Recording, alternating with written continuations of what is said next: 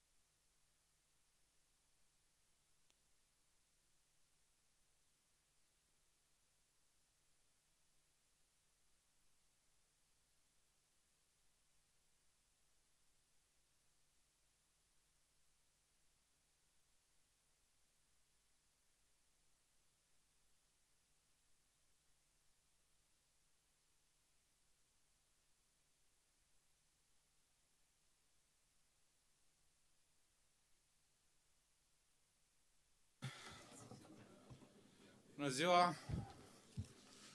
Ați-mi voie să, în primul rând, să salut uh, invitații de astăzi, atât autoritățile locale, președinți de Consilii Județene și de la Iași și de la uh, Suceava, cât, dați-mi voie să remarc, uh, un număr impresionant de parlamentari din Moldova, de toate culoare, culorile politice și asta este un lucru bun, pentru că niciun proiect de infrastructură eu nu consider că are vreo culoare politică și cred că toată lumea e de acord uh, cu mine.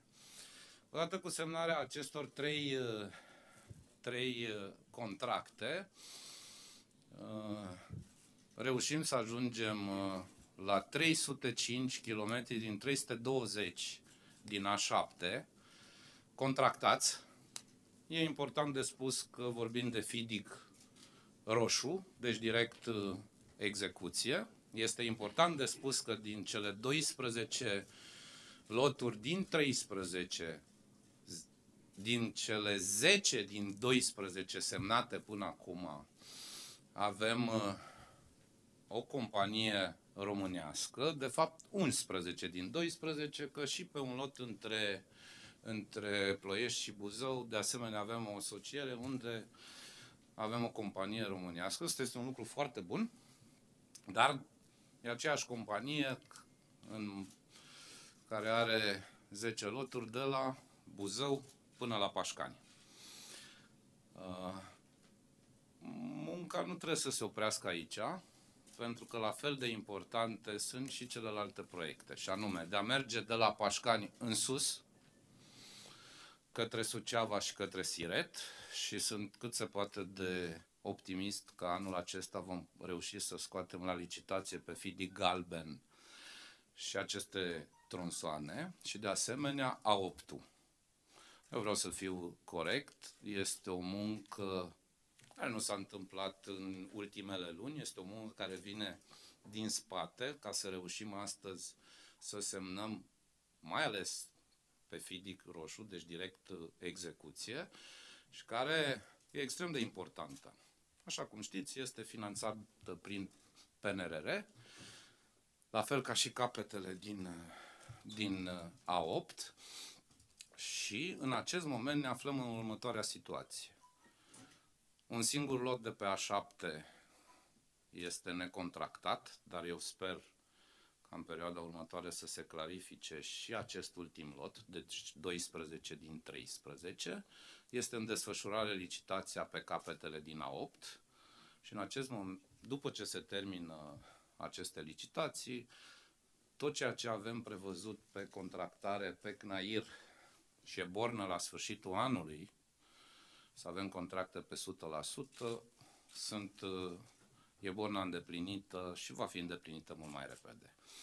Un alt lucru la fel de important pe care țin să-l menționez astăzi, care are cât de cât legătură cu, cu ceea ce am spus mai devreme, țin să spun că anul trecut, 2022, a fost un an în care la Ministerul Transporturilor, pe toate tipurile de transport, s-au semnat contracte de aproximativ 10,3 miliarde de euro. Asta ca să vă faceți un, o imagine completă. 2017, 2018, 2019, 2020 și 2021 adunate la un loc, deci adunați cei 5 ani la un loc, nu, am, nu se ajunge la această sumă realizată în anul 2022. Asta ne face optimiști ca începând de anul acesta, indiferent de culoarea politică a guvernului și indiferent de, dacă vreți, de culoarea politică a ministrului, minimul de kilometri care trebuie să fie dați în circulație anual, anual, începând de anul acesta, să fie de 100. Kilometri de autostradă și drum expres. Și, ca să închid, să știți că în acest moment, pe vechiul exercițiu bugetar 2014-2020, care știți că are regula de N plus 3, adică vom putea cheltui până la sfârșitul anului acesta, 2023, ne aflăm în situația următoare. Mai avem doar 56 de milioane de euro din toate sumele alocate către transporturi pe vechiul exercițiu bugetar. Deci ceea ce vă spuneam anul trecut pe la jumătatea anului, că va fi pentru prima dată când transporturile își vor accesa toți banii europeni, iată că se întâmplă cu vreo 10 luni mai repede decât finalul anului și am speranța, și am avut dialoguri și cu domnul ministru Boloș, ca din sumele necheltuite pe celelalte componente și care la sfârșitul anului ar trebui să, să fie date înapoi către comisie, în aceste 10 luni, să ni se aloce nouă, că aici, până la finalul anului, va, vom mai putea accesa câteva sute de milioane bune de euro, pe care, așa cum spuneam, dacă nu le-am nu ni, ni le-ar aloca nouă, ar trebui să le dea înapoi. Deci, Ministerul Transporturilor răspund că în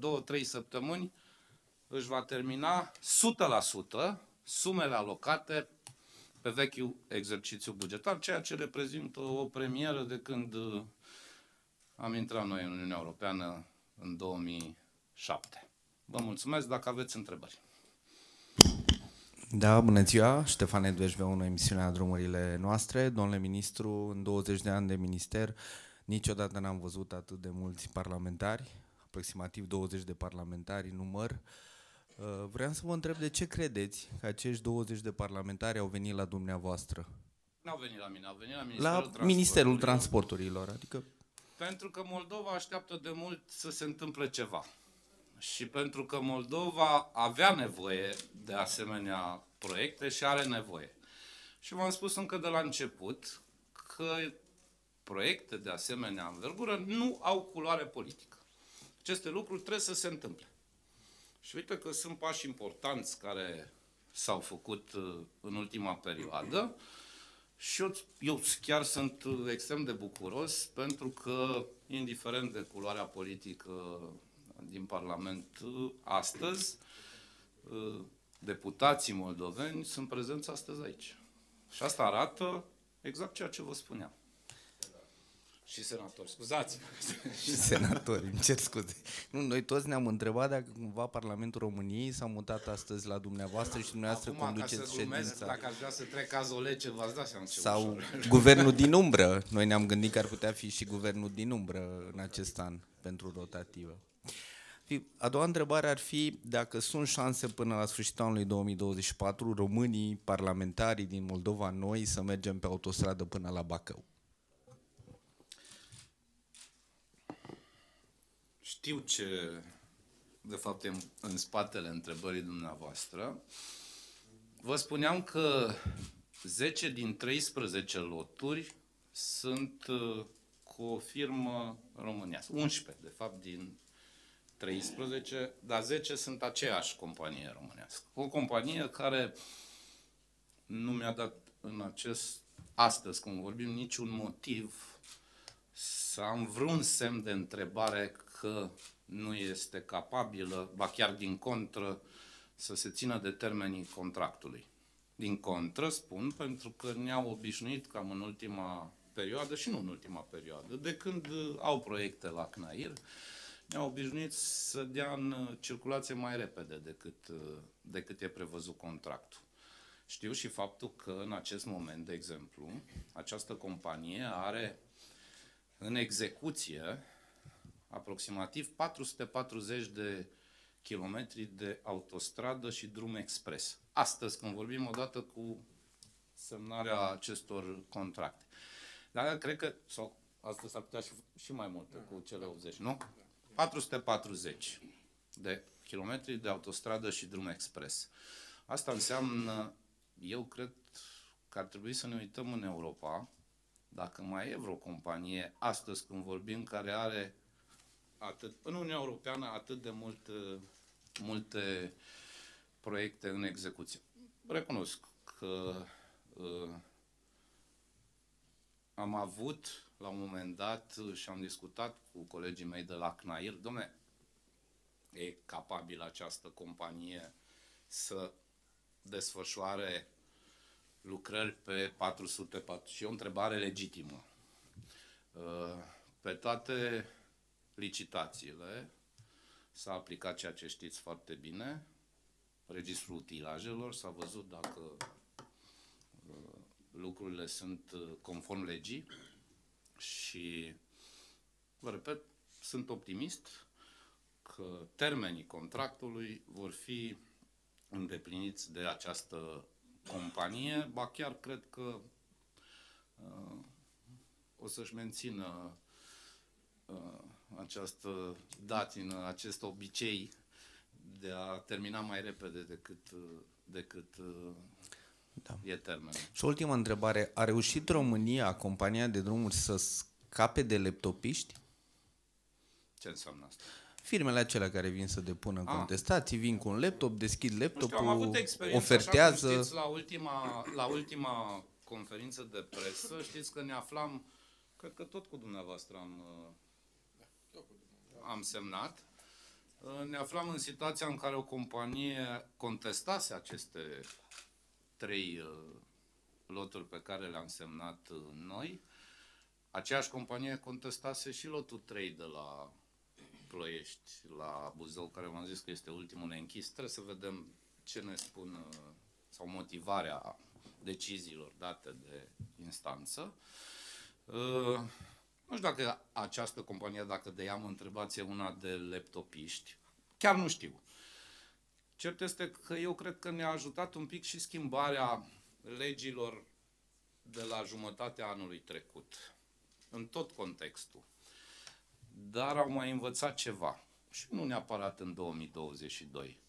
Au mai învățat că cele companii care, pe care le-ați denumit dumneavoastră de laptopiști, nu mai ține această, această practică. Nu se mai poate.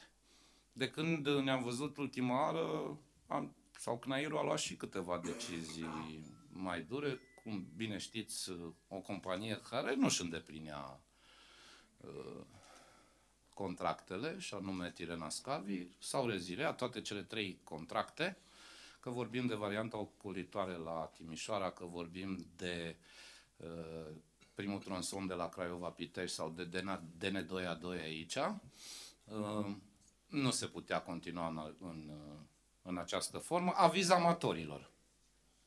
Aviz amatorilor. Bună ziua, domnule ministru, bună ziua, domnilor directori, Alex Lancuzov, Radio România Actualități. În primul rând, pentru dumneavoastră, domnule ministru, ați adus în discuție capetele A8 prin PNRR, dacă nu mă înșel, 27 și 28 februarie sunt termenele de depunere. Înțeleg că sunt sute de clarificări, care merg foarte multe, deci peste 500 de clarificări, dacă nu cumva merg spre 1000 de clarificări. Asta înseamnă că inevitabil ar trebui prelungit termenul pentru depunerea ofertelor și dacă nu este un semnal de alarmă că um, ceva n-a mers bine, un caiet de sarcini uh, făcut pe repede înainte, cu probleme, dacă uh, confirmați uh, această întârziere într-un Nu e o proiect pre- contratimp. Nu e o premieră acest lucru, că se cer clarificări. Cum nu e o premieră, de exemplu, pe Sibiu Făcăraș, unde cred că sunt patru loturi pe care noi uh, le-am scos. Mai există o practică a unor companii care în momentul în care nu sunt în stare să vină cu o ofertă Solidă. solidă, atunci contestă la CNSC caietele de sarcini ca să existe un delay, să existe o întârziere, să aibă ei timp să își facă oferta așa cum trebuie. Știți aceste tehnici și uh, dumneavoastră sunteți de mult uh, acreditat pe această zonă. Uh, să știți că e extrem de important să facem a 8 Și eu vreau să scot în evidență ceva. S-a muncit și s-au scos și aici e o implicare pe care n-am cum să nu o remarc, a, a, și au părția aceasta de ONG-uri din zona Moldovei, pentru că s-a muncit foarte mult, s-au scos avizele de mediu, s-au scos uh, toate acele lucruri care păreau aproape imposibile.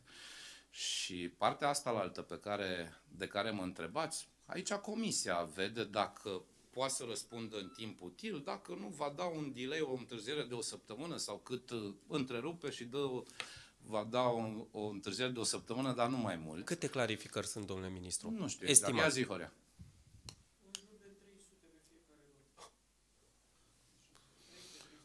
Da, mă gândesc că uh, sunteți în stare să... Deci da? 700 de clarificări pe ambele loturi. Nu e, nu e un număr, așa cum știți, care să ne sperie, că Au mai fost. au mai fost, da. Pe A7, chiar o să vă trimit, sau te rog eu după, după conferința de presă să transmiți câte au fost pe A7 în, Bun. E important A8-ul, e finanțabil prin PNRR, dar nu, e important, nu sunt importante doar capetele. La fel de important e și ca mijlocul, și vom reuși în perioada următoare să scoatem uh, și mijlocul, să-l, să-l, să-l uh, scoatem la licitație. Bun. Uh, Domnule ministru, uh, ieri compania de drumuri a anunțat un procent de aproape 6% pentru primul lot, Ploiești, da, Dumbrava, Mizil, primii 21 de kilometri, ar fi sub graficul estimat. Dacă facem o comparație cu lotul 2, unde lucrează asocierea bulgaro-română, care e cam la dublu, iar term- ordinele de începere au fost date cam în același timp. O întrebare comună și pentru dumneavoastră și pentru domnul director Pistol. O să răspund la modul general și pe aceea pe aceste uh, loturi țintite îl las pe domnul director. Vă spuneam mai devreme că am dat, cred eu, un mesaj și un semnal extrem de important în momentul în care o companie care totuși, dacă luăm ultimii 10-15 ani în România, a avut destule proiecte, Tirena Scavi, la care iată că nu mai făcea față la uh, ritmul impus. Și atunci am luat decizia și nu m-am ferit de a rezilia aceste contracte. Pe tronsonul 1, de exemplu, de la Craiova la Pitești, sunt peste 50% realizați astăzi când am reziliat. De asemenea, pe varianta ocolitoare la Timișoara, cred că ne apropiem de 60%. Asta nu înseamnă că ritmul e cel pe care uh, ni l-am dorit și tocmai de aceea le-am reziliat. Spuneam mai devreme, aviz amatorilor. Vreau să fiu foarte bine înțeles. Dom'le, eu nu sunt postura asta, și am mai spus lucrul ăsta aici, să vin în fața voastră a presei, să fac spectacol, cum am mai făcut alții, să rup uh, contractele în fața camerelor de la vedere și pe aia să uh, se chinuie CNAIR-ul vreo trei ani să găsească înlocuitori. Eu nu vreau să reziliez contracte. Dar nici nu vreau ca statul român să fie luat de prost de către unele companii și care nu-și respectă termenii contractului. Și atunci, sigur că încerci tot timpul să ții această, această balanță. Când nu se întâmplă, luăm și decizia pe care nu, repet, eu nu doresc să reziliez. Eu doresc ca toată lumea să se țină de ce a semnat. Da. Te rog, Cristi. Da, bună ziua. Referitor la întrebarea dumneavoastră, pot să vă spun că chiar astăzi este o ședință de comandament pe acest lot. Dedicat? Dedicat, da. Exact pe acest lot este o ședință de comandament în care participă colegii noștri de la implementare, cât și de la direcția tehnică, tocmai pentru a închide acele lucruri pe care încă nu le aveau clare antreprenorii. Pe de altă parte, trebuie să ținem cont că acest lot a fost semnat cu un delay față de, de lotul 2 a fost o diferență. Uh, pe de altă parte, au fost notificați de ritm scăzut. Deci noi primele măsuri contractuale deja le-am luat. Asta nu înseamnă că lucrurile sunt neurmărite și nu sunt uh, luate măsuri în, în consecință pe fiecare lucrare în parte, nu numai pe aceasta. Am înțeles. Uh, domnule ministru, ați promis manageri profesioniști la cele cinci companii. Probabil că doar timpul ne va dovedi dacă promisiunea se va îndeplini sau nu. Am văzut că e o paletă largă. Partidele și-au pus oameni, au venit și oameni din administrație, oameni cu experiență, oameni de meserie. Ce așteptări aveți de la cele cinci noi consilii de administrație? Da? Uh, și uh, care este procedura următoare pentru alegerea directorilor executivi? Chiar vă mulțumesc pentru întrebare și aș vrea să fac câteva clarificări, cred eu necesare. Sigur, avem bornă în PNRR și e foarte bine că e bornă în PNRR și a fost această bornă legată de 109 și de selecție. Mai mult decât atât. Pe cele cinci companii de care aminteați dumneavoastră. Mai mult decât atât. Uh, am dat drumul și știți acest lucru și se desfășoară astăzi când vorbim 109 și pe celelalte companii aflate în coordonarea uh, Ministerului Transporturilor și care nu erau prevăzute ca borne în PNRR. Este legea bună rea. Am auzit diverse uh, lucruri în acești ani. Este singura lege astăzi care vorbește de uh, management corporatist. Da? Și asta trebuie să o aplicăm. Că mai poate fi îmbunătățită, sunt perfect de acord. Dar ăsta este cadrul legal. Am externalizat acea companie sau două companii care au câștigat uh, și-au făcut treaba, au livrat uh, uh, listele scurte. Vreau să vă spun că a fost, dacă nu mă înșel, la CNAIR, cred că vreo 40 și ceva, 42, la CFR SA 38. Deci a fost concurență. Dar trebuie să ținem cont de ceva. Pe ceea ce e profilul candidatului sau profilul Consiliului de Administrație, trebuia să se întâmple următoarele lucruri. De exemplu, din șapte membri a unui Consiliu de Administrație, cinci trebuiau obligatoriu să aibă vechime în domeniu. Da? În domeniu. 5. Minim doi dintre cei șapte, iau numărul de șapte că e de obicei cel care e comun la aceste consilii de administrație. Minim doi dintre ei trebuie să aibă studii economice sau juridice. De asemenea, trebuie să fie de la caz la caz în funcție de cifra de afacere a companiei respective, 1 sau maxim 2 funcționari publici. Și de asemenea, trebuie să fie mai mulți independenți decât dependenți. Toate aceste lucruri dublate și de următorul lucru și de altele. Cum ar fi incompatibilitatea între, în a fi membru în Consiliul de Administrație, de exemplu, la CFR Călători și la CFR SA. Nu ai voie conform legii. Toate aceste lucruri sunt criterii date de lege. Uh, mie mi s-a livrat un clasament de către firmele respective.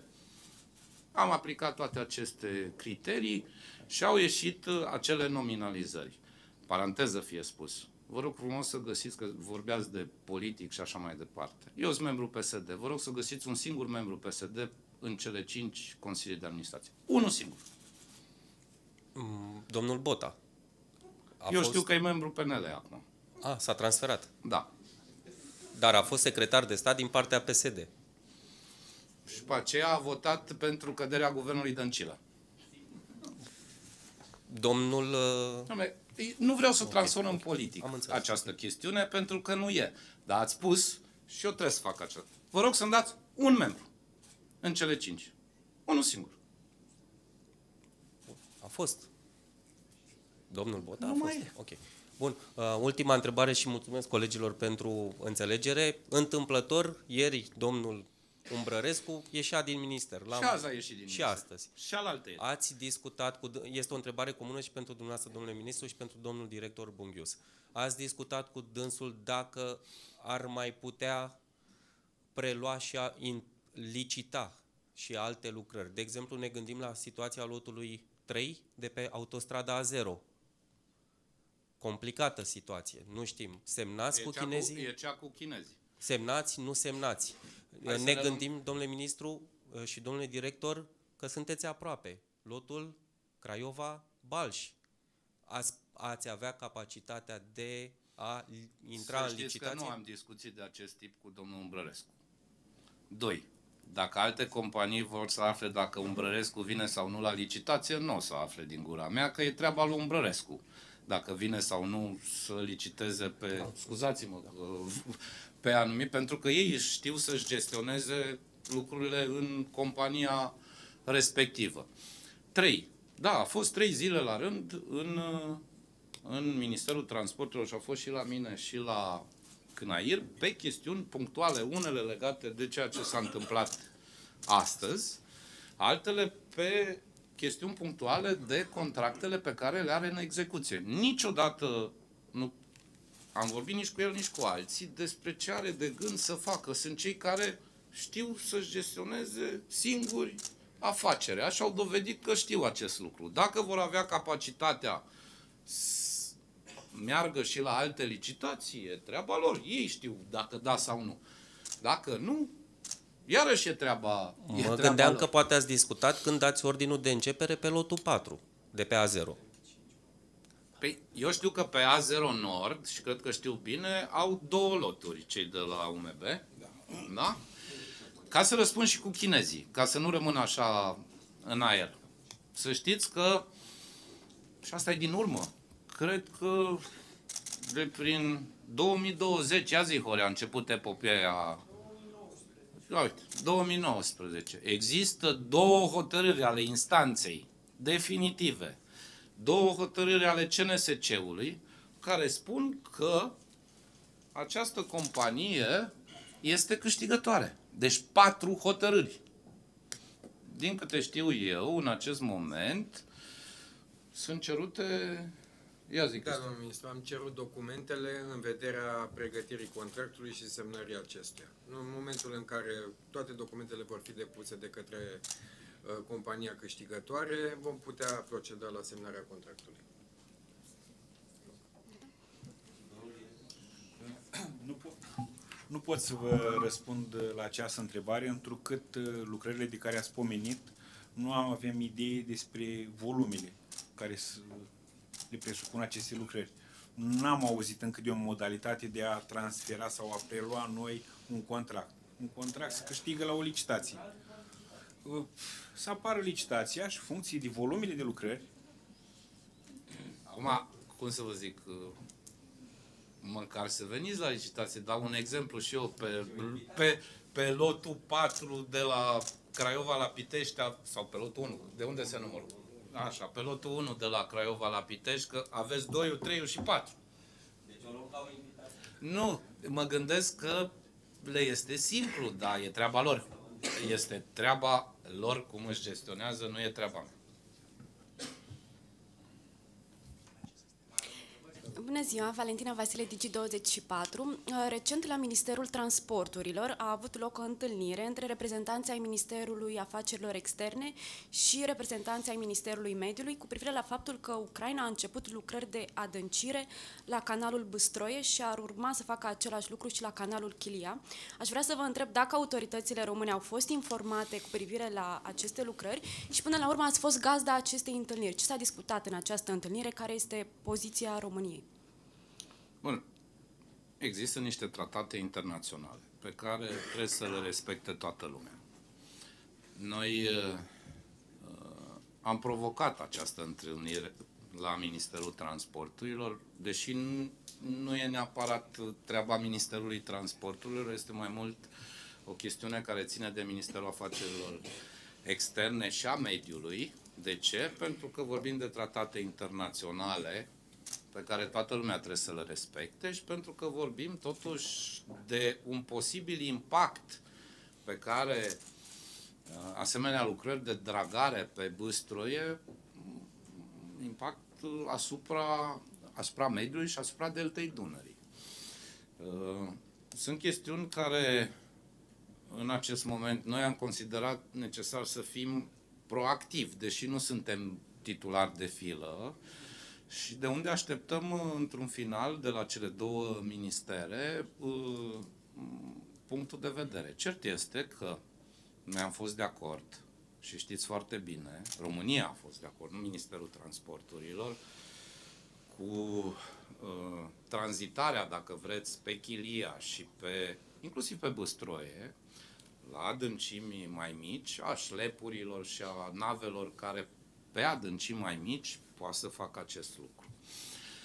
Mai mult decât atât, cred că Ministerul de, de Externe este cel care va gestiona și ăsta a fost uh, uh, rostul acestei întâlniri, pentru că există semnale că în acest moment, așa cum dumneavoastră spuneați, uh, sunt lucrări de dragare pe Băstroie. Și uh, Ministerul de Externe, Ministerul Mediului, ăsta a fost până la urmă, asta a fost rostul acestei întâlniri, trebuie să vină cu, cu opoziție și să informeze guvernul. Dumneavoastră când ați fost informat și de către cine? De către Poliția de Frontieră sau și când? De către, să spunem, structurile teritoriale ale Ministerului Transporturilor. Când, când s-a întâmplat acest lucru? Undeva pe parcursul săptămânii trecute, de la începutul săptămânii trecute, dacă nu mă înșel. Tocmai de am încercat să venim cu date, deși nu e, nu e responsabilitatea Ministerului Transporturilor și mai mult decât atât, și vreau să subliniez acest lucru. Ucraina se află într-o situație dificilă. Toți încercăm să ajutăm. Toți încercăm să găsim soluții prin care să ajutăm Ucraina. Și uite aici sunt județe care se află la granița cu fie cu Republica Moldova, fie cu Ucraina și unde se caută soluții în a ajuta. Și asta trebuie să facem. Aici e fără semne de întrebare. Totodată, e nevoie să respectăm și tratatele internaționale. De aceea aș aștepta și avea un pic de răbdare să vedem ce ne spune și Ministerul uh, Afacerilor Externe și mediul legat de aceste lucrări. V-aș întreba pentru a mă lămuri, dacă uh, autoritățile care v-au informat uh, au spus și de faptul că au început lucrări pe partea ucraineană la canalul Chilia sau doar, nu pe știu, Băstroie sunt, sunt uh, informat uh, că au început, tocmai de am provocat această întâlnire. Aș vrea să vă întreb câte, câte dintre podurile, tunelele și gările ce țin de CNAIR și uh, CFR uh, ar rezista în cazul unui cutremur puternic, pentru că dumneavoastră ați spus la un moment dat că cam 90% din gările din România arată ca după război. Și e un adevăr. Și dacă vreți, vă pun la dispoziție imaginile cu gara din Târgu Jiu de ieri, pentru că mi-au trimis colegii de acolo. Tocmai de aceea insist, așa cum am făcut pe zona rutieră și voi insista cât voi sta în, a, în această funcție, ca ceea ce s-a întâmplat pe zona rutieră, inclusiv azi, și anume semnarea unor protocoale cu administrațiile publice locale și descentralizarea acestor lucruri să se întâmple și pe zona de CFR. Doar așa, aplicând ceea ce se întâmplă pe zona rutieră, azi am semnat cu Consiliul Județean Maramureș și cu Primăria Baia Mare. Ieri am semnat cu Consiliul Județean Călăraș, cu Primăria Oradea, ieri au fost vreo patru. Uh, Azi două. E foarte bine și îndemn pe toată lumea și în viitor să facă acest lucru, dar acest lucru trebuie extins și pe zona CFR. Administrațiile locale care au forța financiară să preia gări și alte imobile care țin de zona de CFR, pe același model putem să mergem. Nu are forța necesară în acest moment CFR-ul să se ocupe de cele 90% de care vorbeam eu mai devreme. A, da, se va ocupa pe proiectele care au finanțare europeană, PNRR-ul, de la Craiova, la, de la Caransebeș la, la Arad. E prevăzută modernizare inclusiv pe zona de gări de la Episcopia Bihorului la Cluj. De asemenea, pe toate proiectele care au finanțare europe- europeană, ori au avut pe POIM, ori vor fi transferate pe POT. Sunt prevăzute. Da, e prea puțin față de această rețea. De, asem- de aceea văd această soluție ca singura viabilă și singura care stă în picioare, și anume transferul către administrațiile locale și administrațiile locale să țină o parte mică, specifică acestei activități, iar restul să gestioneze clădirea, pentru că ei vor băga bani, ei vor investi și ei vor trebui să-și administreze, să gestioneze aceste clădiri. E singura soluție pe care o văd în acest moment. Bună ziua, Florentina Bălășoiu, știrile Pro TV. În continuare a întrebării colegei mele, domnule ministru, ce norme tehnice de siguranță la cutremur există în acest moment în contractele pentru autostrăzi, căi ferate, poduri și așa mai departe? Dacă vorbim, sigur o să lași pe Cristi de chestiuni tehnice, dar sunt absolut convins că sunt normele europene în vigoare, adică nu facem rabat, mai ales că vorbim de uh, uh, finanțare europeană. Că mm, nu, nu, nu există semne de întrebare și dubii din acest uh, punct de vedere. Cristi? Mă gândesc că aveți niște exemple să ne dați Nu, nu. concret sau ce, Ce, pot există. să vă spun este că tot ce se proiectează în România și se execută, se execută potrivit normelor și normativelor românești. Deci noi avem normativ de proiectare antiseismică, uh, nu mergem și nu permitem constructorilor să proiecteze și să execute lucrări, chiar dacă ei provin din alte țări, să execute lucrări potrivit normelor lor.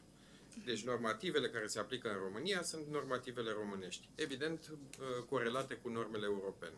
Și ce înseamnă acest lucru? Adică dați-ne un exemplu. Pro, deci proiectarea se face potrivit uh, normativului P100, da? Ele se calculează funcție de tipul investiției, de funcție de tipul clădirii, uh, pe categorii, unele dintre ele ajungând la un cutremur de proiectare de 9 grade pe scara Mercalli. Acesta este cute- uh, cutremurul pentru valoarea cutremurului de proiectare. Deci normele sunt românești, sunt niște norme bune, actualizate. Uh, Ele au fost actualizate mai, mu- de-a lungul timpului de mai multe ori. Primele normative cu proiectare antiseismică serioase în România au venit după cutremurul din 1977. Așa că întotdeauna ele au fost îmbunătățite și practic dimensionarea uh, structurilor s-a făcut din ce în ce mai bine. Și în Gorj a fost afectat vreun element de infrastructură? În momentul de față, pe, pe infrastructura rutieră, nu avem nicio lucrare de artă afectată de seismul care a avut loc zilele trecute. Voia să Eu vă adăugați spuneam ceva. de imaginele pe care le-am vist din, cu gara din Târgu Jiu, unde au apărut uh, fisuri. Au apărut de ieri fisurile în urma cutremurului? Da. Asta este ce- ceea ce mi-au trimis colegii din Gorj.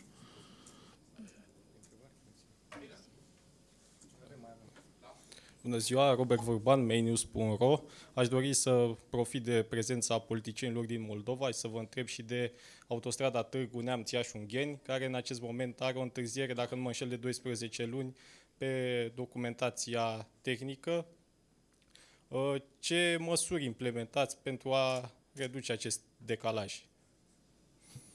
Pe detaliile tehnice o să rog de asemenea pe domnul director Pistol, dar ceea ce pot să vă spun e că și nu mă oferesc să spun acest lucru, că există un dialog mai redus cu consultanții de la Jaspers pe acest proiect și colegii din Moldova știu foarte bine la ce mă refer. Nu vreau nici să arunc vina, să nu fiu greșit înțeles, dar eu cred că România a trecut în altă fază, și anume, cel puțin pe programul operațional de transporturi 2021-2027, eu cred că o să solicităm uh, sprijinul acestor consultanți doar atunci când e nevoie.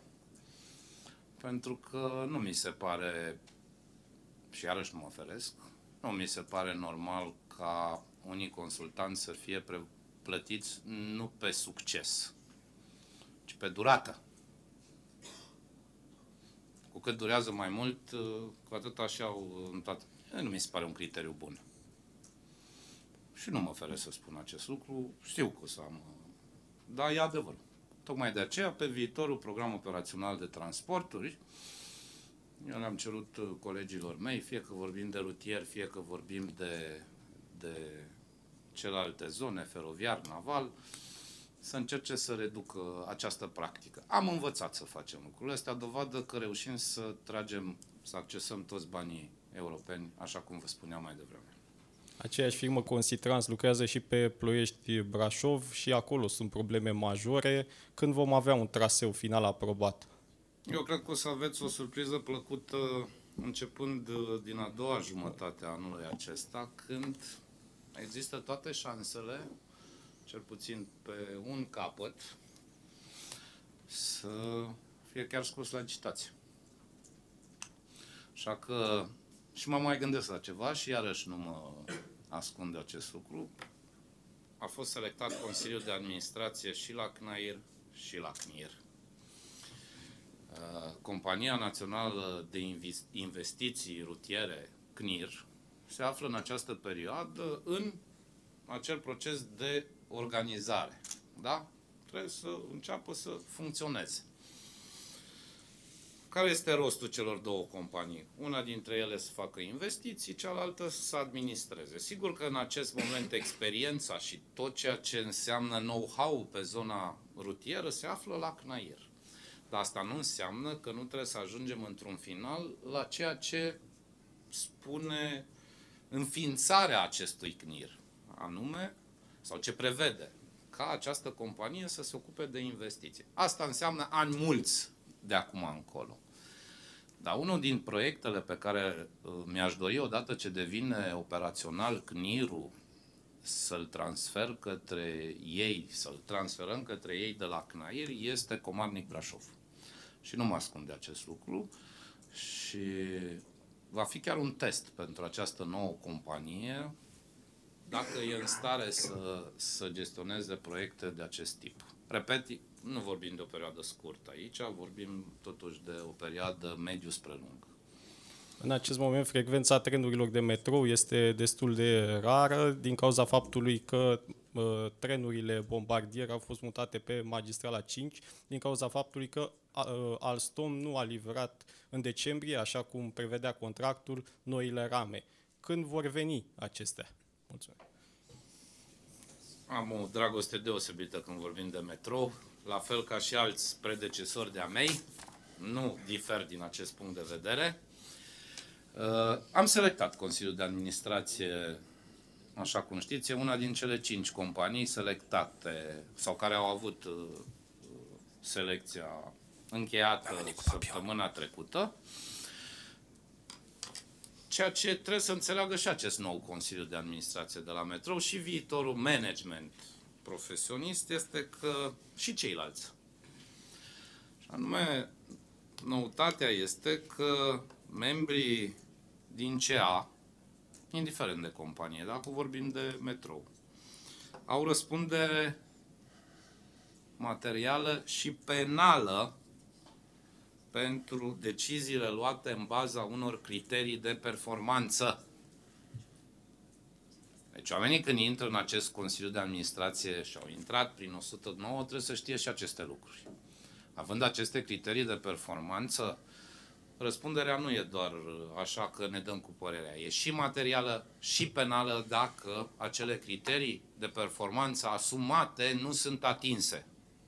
Și e foarte bine acest lucru. Foarte bine că se întâmplă acest lucru. Pe cazul punctual de la metrou, e o istorie care vine din spate și care nu e de un an, doi. Cu toții știți uh, situația, situația Metrorex. Un lucru bun la finalul anului 2022 este următorul, că spre osebire de 2021, când nu am avut buget, și știți că nu a fost aprobat bugetul, în 2022 am avut buget și au terminat pe plus, pe profit. În 2021, și lucrurile și mai din spate, am avut acele discuții legate de mentenanță, de contractele tot cu acea companie și care n-au fost plătite. Efectele s-au văzut în vara anului trecut, când am avut acele uh, frecvențe scăzute la uh, metrou, pentru că Alstomul a reclamat următorul lucru. Eu am semnat și am niște sume de încasat din 2021. Vreo 200 de milioane. Nu i-a mai urmărit nimeni neavând buget în 2021. Dacă nu-mi plătiți acele 200 de milioane, eu reduc activitatea. Și au făcut acest lucru. A trebuit să venim cu suplimentări de la buget. Am speranța că voi mai fi, că nu voi fi în această funcție, ca metrou și Metrorexul să înțeleagă că trebuie să intre pe o anumită zonă care ține de principii corecte economic, economice corecte. Și trebuie să înțeleagă acest lucru. De asemenea, mi-am arătat disponibilitatea și cred că sunt cam primul ministru în ultimii ani de a avea dialog la transporturi cu primăria municipiului București în a transfera Metrorexul către primăria municipiului București. Toți primarii dinainte au vrut metrou, toți miniștrii dinaintea, sau majoritatea dintre ei, că nu vreau să generalizez, n-au vrut să-l dea. Doamne, dacă vrem să vorbim de un sistem integrat de transport la nivel de municipiu București, nu poți să vorbești fără metrou. Nu se poate acest lucru. Sunt dispus, de asemenea am avut discuții și în cadrul guvernului și cu primul ministru, cu tot cu alocările bugetare normal să fie transferate către primăria municipiului București. Vă repet, anul 2022 s-a terminat pe profit, dar dacă vrem să vorbim de sistem integrat de transport în București, nu putem să facem acest lucru fără metrou. Și toate lucrurile trebuie să fie într-un singur loc. Am tot lansat public uh, acest, uh, această temă, nu mi s-a răspuns. Bună ziua! Ciprian Maila sunt. Domnule prim-ministru, uh, mă adresez așa pentru că ați avut această funcție. Eu sunt jurnalist din 2003, bat aceste holuri de la minister de când era domnul Mitrea ministru. Am două întrebări scurte pentru că nu vreau ca să profit de timpul dumneavoastră prețios, o rugăminte și o mulțumire. Pentru că a spus de Cânăir, vreau să vă întreb cine și când o să numească directorul general? E valabil pentru toate celelalte companii. În 30 de zile, cred, conform legii, trebuie declanșate uh, procedurile de selecție pentru nou manager. După constituirea Consiliului după constituirea Consiliului de Administrație, ceea ce cred că s-a întâmplat la toate cele cinci, și nu e vorba, îmi spune Laurențiu, doar de, de directorul general, prin 109 se alege și direct, se selectează și directorul financiar. La toate. Vă mulțumesc. Îmi cer scuze pentru voce, dar am fost uh, în weekend la o nuntă la Filiaș și cu această ocazie am trecut pe autostrada de la Craiova Țin să mulțumesc companiei Umbrărescu pentru că a făcut o lucrare excepțională. În urmă cu mulți ani, când era premier uh, domnul Victor Orban, domnul Victor Ponta, îmi cer scuze, așa, uh, compania Spedition UMB a terminat primul lot de autostradă cu patru luni înainte. M-am dus la domnul premier de atunci, la domnul Pontea, și a spus, mergeți la inaugurare? Nu mă duc. Acum, anul acesta, pe acel drum trebuie să fie finalizat tronsonul 3 și va fi finalizat. Uh, haideți să vedem, s-ar putea să se ducă lucrurile foarte bine, inclusiv pe tronsonul 4, dar conform contractului vorbim de tronsonul 3 de pe drumul expres. Uh, eu vreau să vă uitați în acest an și jumătate de când, uh, aproape un an și jumătate de când sunt ministru, să știți că nici mie nu-mi place să mă duc să tai panglici cu sobor de preoți și cu chestiuni din astea și n-am făcut-o. Da, dar spuneți-mi, vă rog, cu ce mergeți acasă la Timișoara? Cu Taromul Uite. sau pe autostradă, DN-uri? Weekend, weekendul trecut am fost acasă, eu merg din două în două săptămâni la, la familie și am mers pe roți. Și cât ați făcut? Șase ore. Eu până De la, la- Filiaș 4 ore. Dar am mers pe varianta uh, uh, Pitești, Vâlcea, Sibiu, Pe unde Timișoara? avem uh, autostradă, da. șase ore de la ieșire din București la intrare în, uh, în Timișoara. Uh, folosesc și cam o dată la două luni merg cu mașina spre casă. Acum, dacă mi-ați ridicat uh, mingea de la fileu, vă spun următorul lucru. Pe stați că mai am câteva. Bun. Uh,